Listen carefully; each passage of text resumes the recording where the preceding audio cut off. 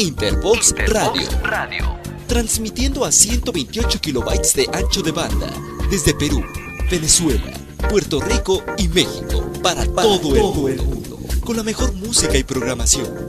www.interboxradio.com Interbox, radio. Tu música, tu radio.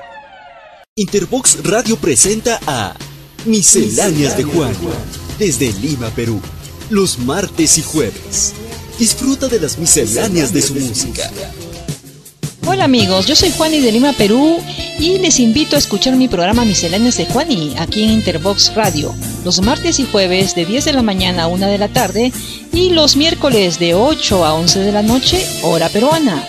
Deleítate en www.interboxradio.com. Interbox Radio porque somos parte de tu vida. Consulta la barra de programación para tu zona horaria por www.interboxradio.com.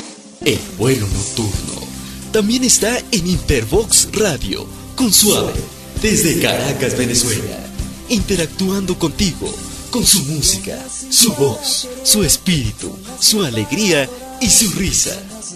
Amar no es mirarse el uno al otro, es mirar juntos en la misma dirección. Los martes y jueves por la noche, hora Venezuela. Conéctate e interactúa con ella por www.interboxradio.com. Interbox Radio. Porque somos parte de tu vida. Consulta la barra de programación para tu zona horaria por www.interboxradio.com.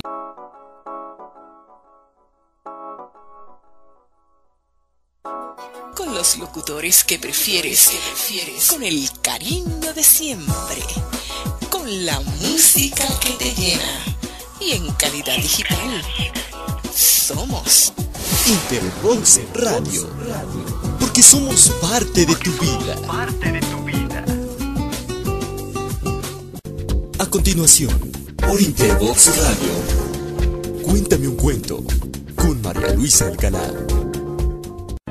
Interbox Radio. Interbox Radio. Porque somos parte de tu vida.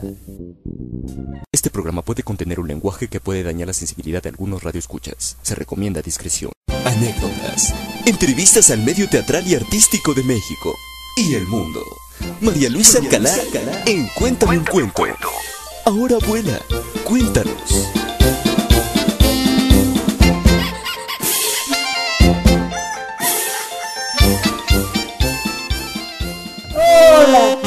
Están? Interbox Radio. ¿Qué tal me salió Interbox Radio? Creía que no lo iba, no lo iba a poder decir. Oigan, un beso, dense un beso, porque somos la, la gente es que estoy bien ronca, bien, ¿cómo se dice? Este, la timbalita. Ella, ahorita les voy a contar quién es la que habla. No, tengo carraspera. Carraspera porque aquí en la Ciudad de México los que conocen saben que estamos jorobados, ¿eh? Porque hay mucha pollution en inglés, porque hablo inglés. Ajá. y para los que no, no nos conocen y están allá afuera, pollution y lo mismo. hay que divertirse, hay que reír, hay que hincharse eh, los pulmones de risa a tener arrugas de risa. Sí, sí, sí. Vamos a reírnos en este mundo que está un poquito torcido. ¿Cómo les ha ido? ¿Bien? A mí también me ha ido muy bien. Y ya saben que los quiero mucho. Pónganse un beso y donde les dé la gana, pónganselo. Luego me dicen dónde. Ah, pero que se lo pongan. Sí, que se lo pongan. Y luego me dicen dónde para ir a checar el detalle. Y si me gusta, se queda. le damos otro beso. Exactamente. Bueno, ella se va a presentar solita. Es una mujer que mide dos metros. Uno, uno, uno, uno. No, no. Uno noventa y nueve. No, es altísima, es una mujer que yo siempre la he admirado, aparte por su talento, aparte por la estatura, porque yo soy enana. Y los ah. enanos también tenemos un mundo precioso pero el mundo de los gigantes ha de ser grueso.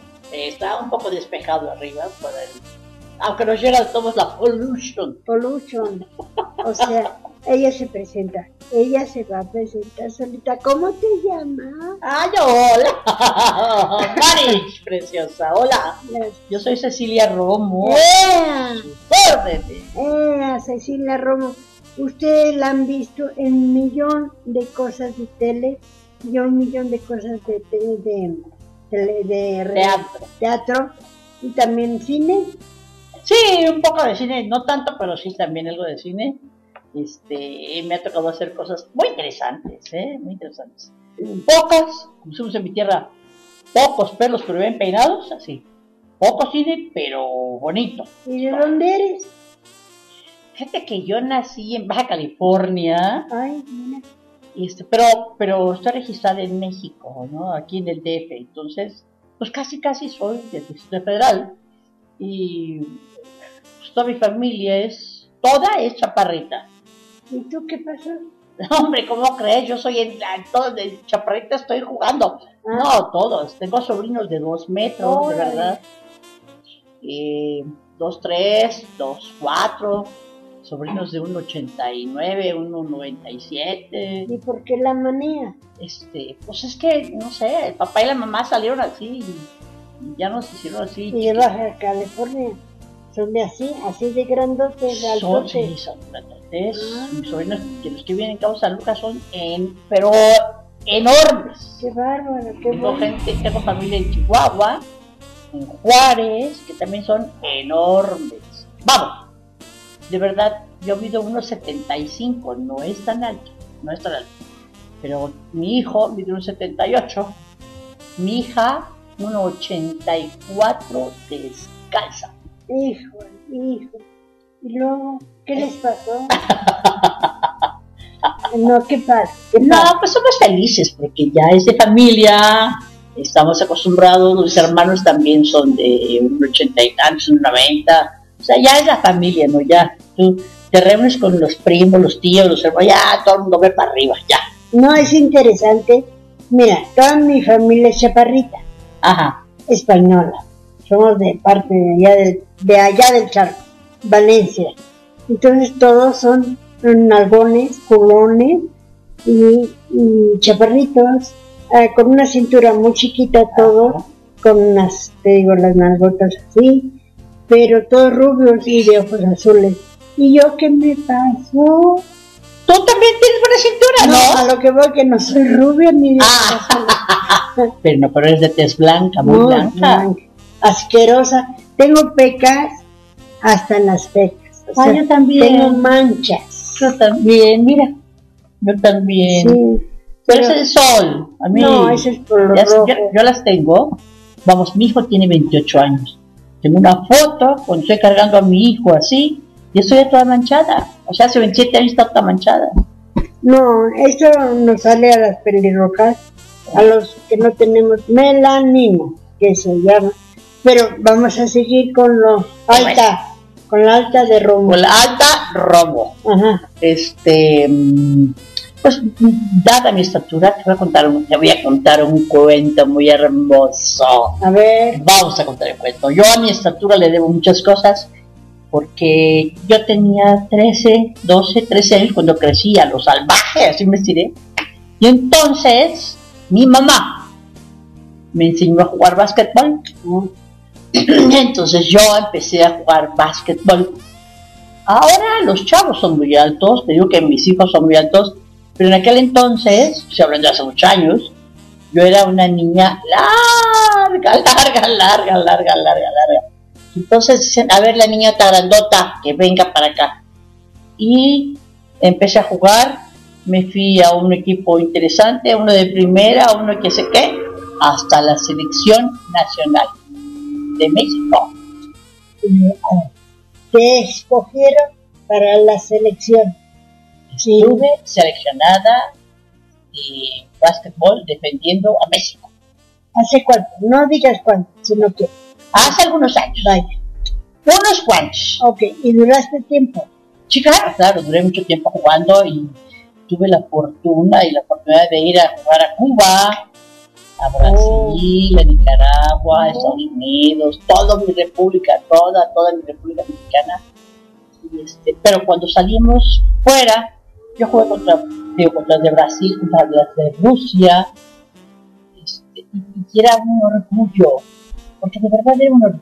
Bueno, para mí es un orgullo todavía, soy muy mexicana, muy nacionalista, pero era un súper orgullo ponerte la camiseta que en el pecho dijera México, número 10. Porque ya sabías que era partirte tu mandarín en gajos. o sea, la madre para que la gente sepa. Pues. Por tu país. En algún deporte. Y en el deporte tan hermoso como es el básquetbol, que es, no es tiernito. No, no.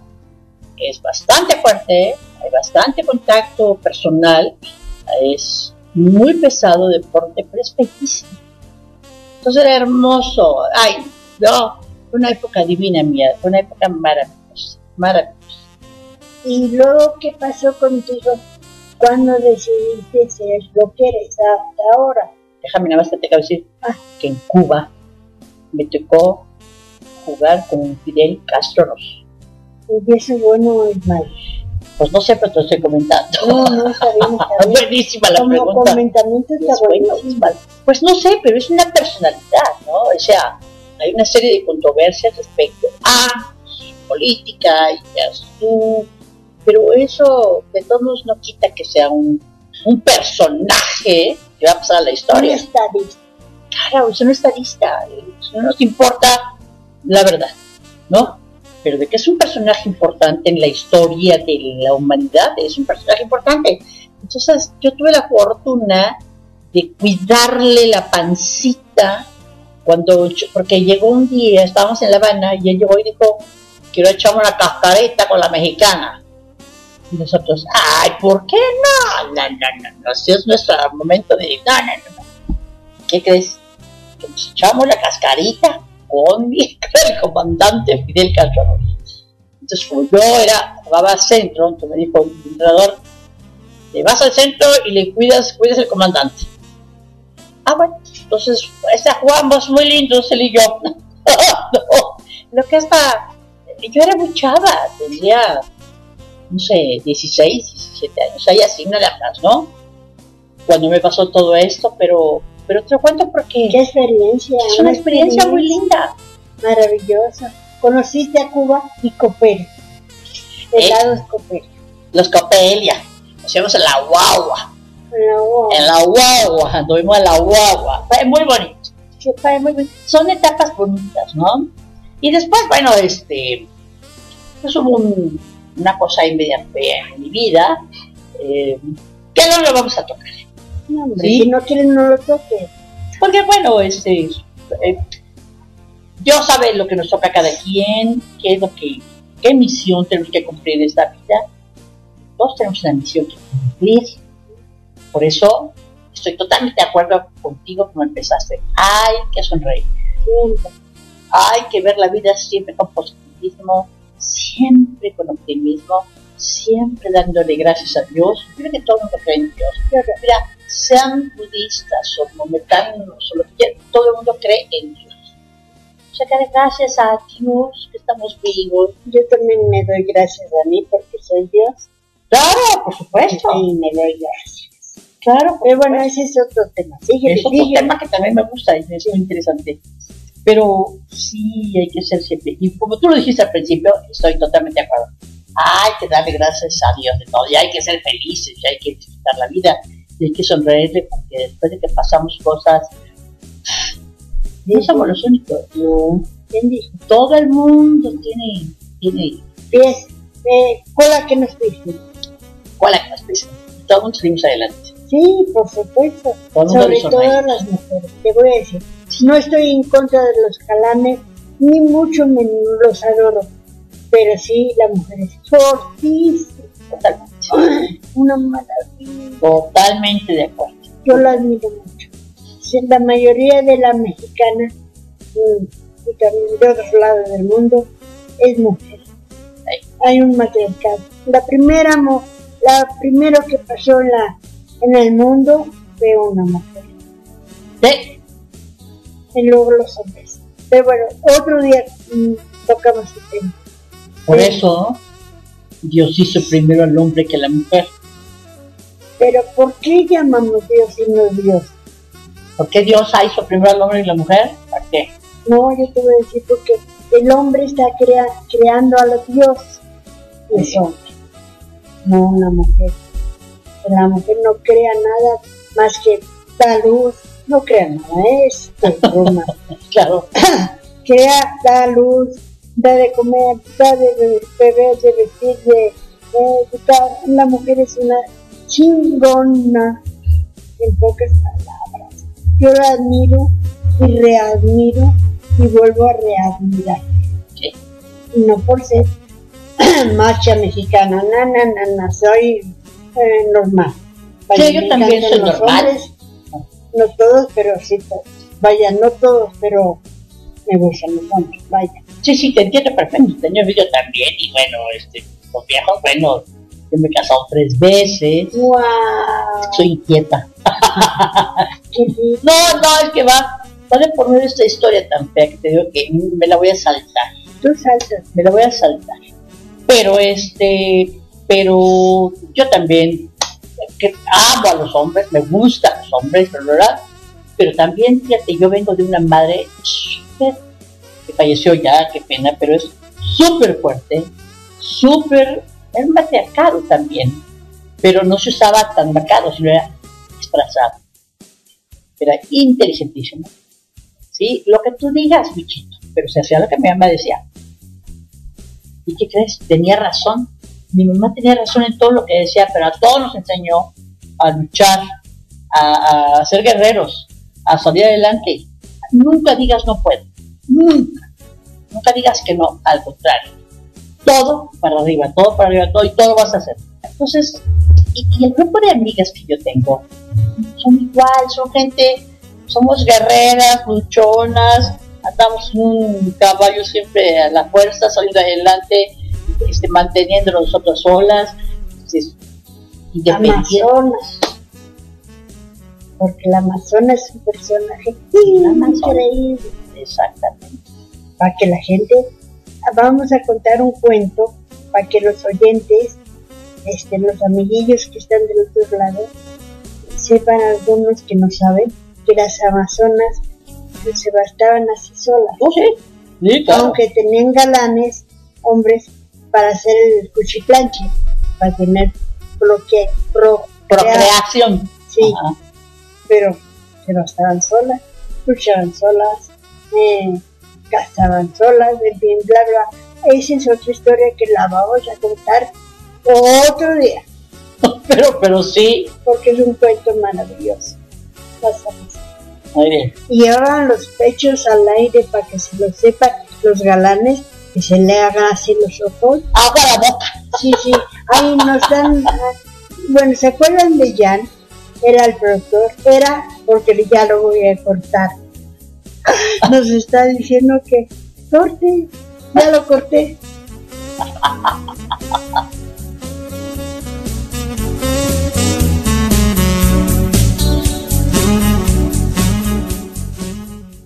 Sketch Las Menopáusicas, programa desde Gallola, con Lupita Sandoval, Julisa, Carmen Delgado y Cecilia Romo, Televisa México. ¡Ay, miren, una de corazones! Ay, Por cierto, ¿se acuerdan del Chato Gallardo? Sí. ¿Mi primer novio? Sí. Pues se murió. ¡Ay, no! ¡Ay, de viejo! ¿Cómo de viejo? ¿Si era de nuestra edad?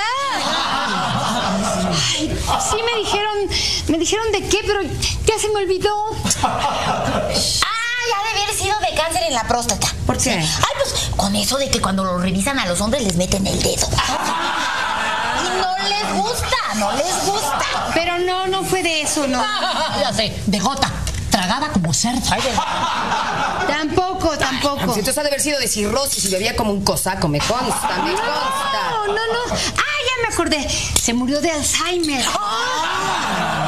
Ay, Es que se le olvidó respirar. ¿Qué creen? ¿Qué? Con él tuve mi primera relación. Oye, ¿Y te dolió? Claro que me dolió, si era la primera vez. Además estaba yo incomodísima ya en el autocinema. ¿Y él te desvirginó? No que te habías caído de la bicicleta. Ándale, el chato era bisexual, te le caíste. ¡Menchu! Todo lo enlodas con tus comentarios. Lo que Pon atención. Ay, bueno, perdón. Oigan, Ah. chicas. Pues ahora que ya se murió, voy a serle sincera. ¿Qué? Yo también me lo tiré.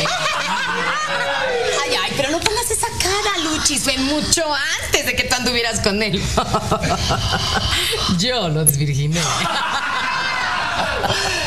Algo que en ti, chata, no es nada raro. Chicas, tengan por favor respeto que estamos hablando de un muerto. Ay, ya está bien muerto, déjalo en paz, hombre. Oigan, chicas. Y hablando de golferías, ay, ¿qué creen? ¿Qué? ¿Qué? Yo también me lo eché.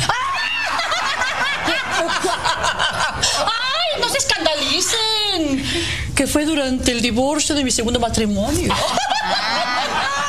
es que me estaba consolando. ¡Ay, yo también! No, yo ta- me enteré de que siempre fue casado, siempre. Siempre, siempre. Bueno, eh, yo estaba tan triste que, que, que ni siquiera le pregunté. Ah, con razón.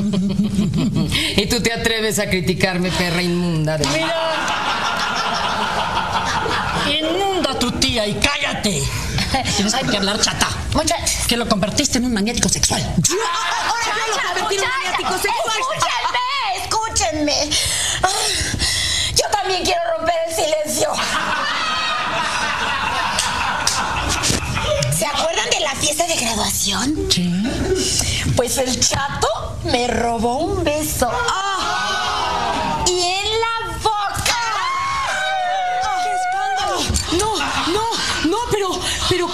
Cuando nos graduamos andaba contigo, Luchis? Ay, ¿Cómo fuiste capaz de traicionarme de esa manera? Eres una cualquiera, eres una desgastada, eres una bolsa. ¡Bolsa! ¡Perdida! Traidora, nalga pronta. Mala amiga. Vámonos a la sala. Vámonos a la sala. Vámonos a la sala. ¿Qué? Vámonos. ¿Te vamos pidiendo tu taxi? Yo soy primera